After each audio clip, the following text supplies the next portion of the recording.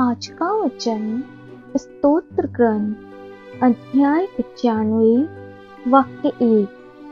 आओ हम आनंद मनाते हुए प्रभु की स्तुति करें, अपने शक्तिशाली त्राणकर्ता का गुणगान करें।